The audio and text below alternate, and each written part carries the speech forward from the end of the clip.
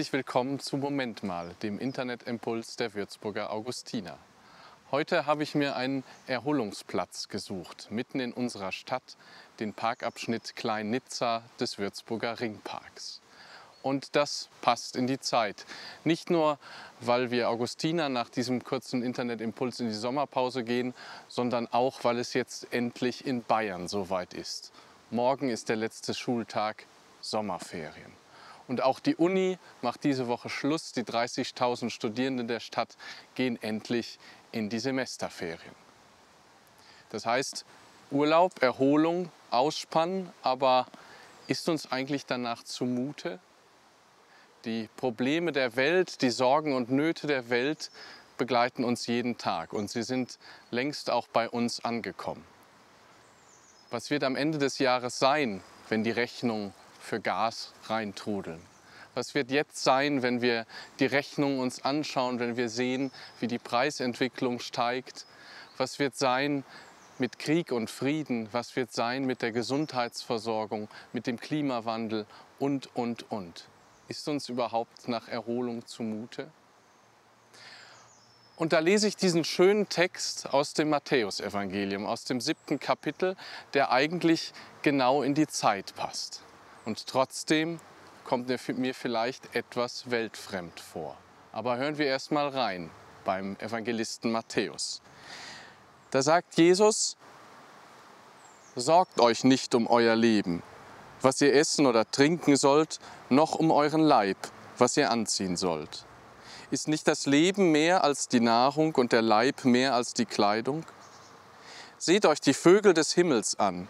Sie säen nicht, sie ernten nicht und sammeln keine Vorräte in Scheunen. Euer himmlischer Vater ernährt sie. Seid ihr nicht viel mehr wert als sie? Wer von euch kann mit all seiner Sorge sein Leben auch nur um eine, eine, um eine kleine Spanne verlängern? Und was sorgt ihr euch um eure Kleidung? Lernt von den Lilien des Feldes, wie sie wachsen. Sie arbeiten nicht und spinnen nicht, doch ich sage euch, selbst Salomo war in all seiner Pracht nicht gekleidet wie eine von ihnen. Wenn aber Gott schon das Gras so kleidet, das heute auf dem Feld steht und morgen in den Ofen geworfen wird, wie viel mehr wird er dann euch kleiden, ihr Kleingläubigen?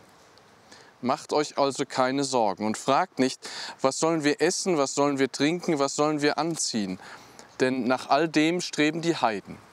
Euer himmlischer, euer himmlischer Vater weiß, dass ihr all das braucht. Sucht aber zuerst sein Reich und seine Gerechtigkeit, dann wird euch alles andere dazugegeben. Sorgt euch also nicht um morgen, denn der morgige Tag wird für sich selbst sorgen. So schön der gehörte Text auch klingt, mir liegt das Wort zynisch auf den Lippen. Sorgt euch nicht um morgen, denn der morgige Tag wird für sich selbst sorgen. Was aber, wenn wir das Unglück von morgen schon heute abwenden können? Und rufen wir nicht gerade danach nach Menschen, die sich Sorgen machen und weitsichtig und nachhaltig die Zukunft planen, um das Schlimmste vielleicht abzuwenden? Als Anschauungsobjekte sollen die Vögel dienen, die Lilien und das Gras. Doch ein toter Sperling widerlegt Jesus, wusste schon ein Theologe im 19. Jahrhundert. Und derer gibt es ja heute genug und bei weitem nicht nur Sperlinge. Und dann der Satz, sucht zuerst sein Reich und seine Gerechtigkeit, dann wird euch alles andere dazugegeben. Ein religiös missbrauchsanfälliger Satz. Am Ende seid ihr doch selber schuld. Dann heißt es, wer von euch kann mit all seiner Sorge sein Leben auch nur um eine kleine Spanne verlängern? Auch der Satz entpuppt sich als Lüge. Dass ich heute noch lebe, vielleicht das Resultat, dass ich mir im richtigen Moment Sorgen gemacht habe und geflohen bin. Oder dass ich mir im rechten Moment Sorgen gemacht habe und zum Arzt gegangen bin. Das Leben lehrt doch viel mehr, sich Sorgen zu machen, hilft. Wer sich rechtzeitig Sorgen macht, hat im entscheidenden Moment vielleicht ein bisschen weniger davon. Sich gerade heute um morgen zu sorgen, nicht blauäugig auf morgen zu warten, ist doch gerade vernünftig. Natürlich, man kann es übertreiben, man kann sich Sorgen im pathologischen Ausmaß machen. Doch darum geht es Jesus ja gerade nicht. Es geht ihm um die Sorgen, die mehr als berechtigt sind. Die Sorge um das Leben, um Essen und Trinken, um Kleidung. Dennoch kann ich mich, auch wenn die Worte vielleicht irritierend sind, der Kraft dieser Worte nicht entziehen.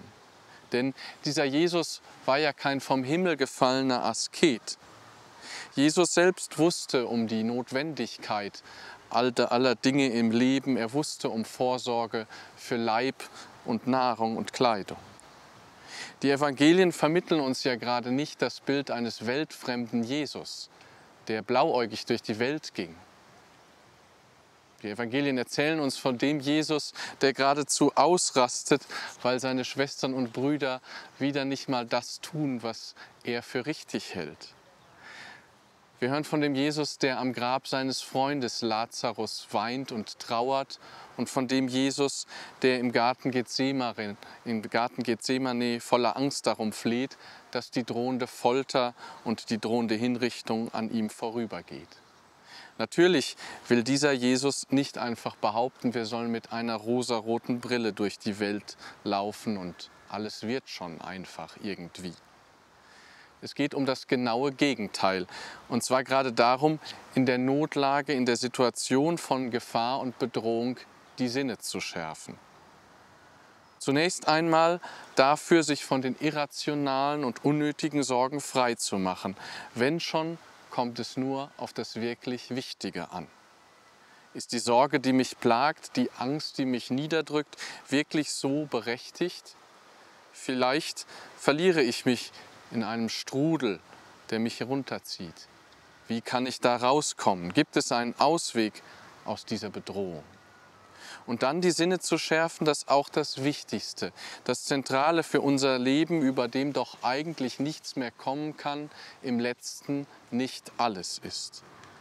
Trachte zuerst nach dem Reich Gottes, das heißt ja nicht, wende dich ab oder mach die Augen zu, es heißt vielmehr, sei dir bewusst, dass du ins Leben gerufen bist, dass du aufgerichtet bist, dass du befreit bist, dass du nicht, auch nicht im Tod, verloren gehst, dass du getragen bist und auf ewig getragen sein wirst.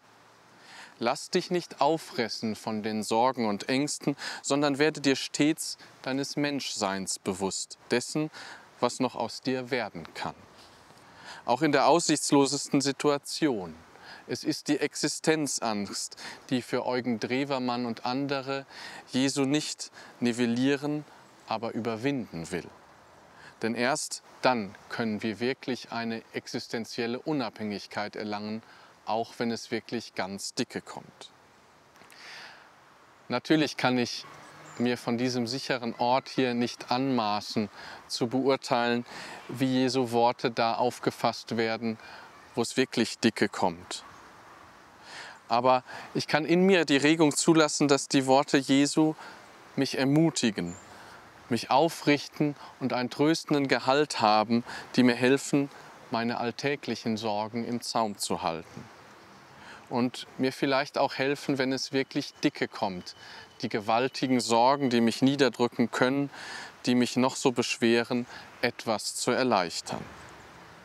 Und ich kann hoffen, dass all das, wenn es wirklich hart auf hart kommt, nicht in Vergessenheit gerät. Und das können wir mitnehmen jetzt auch vielleicht in die Ferien, in den Urlaub und guten Gewissens daran arbeiten und ausspannen, dass wir uns die Leichtigkeit doch vielleicht etwas bewahren. In einem Gedicht schreibt Wolfgang Schepanski, wollen Sorgen mich umschlingen, will die Einsamkeit mich quälen, weiß ich stets durch frohes Singen Mut und Geist zu stählen. Reiße wohl das Fenster auf, jag die bösen Geister fort, nehme alle Kraft zur Hauf, wünsch mich an den schönsten Ort. Und mir ist es nun, als können Mauern mich nicht halten. Ich kann lassen, ich kann tun, kann wie freie Menschen walten.